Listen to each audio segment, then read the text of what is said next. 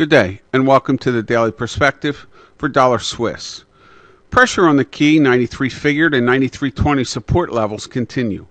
However, as this range holds, we believe the current sharp decline from the 97.85 double top is only completing the C wave of a larger Elliott wave flat pattern. This would complete the downside correction and allow for a base to develop and accelerate through 97.85 to confirm the medium term upside reversal. However, keep tight stops on this view.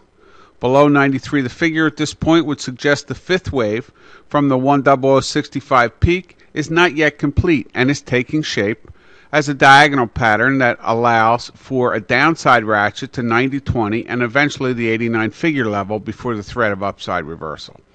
Good luck and have a great day.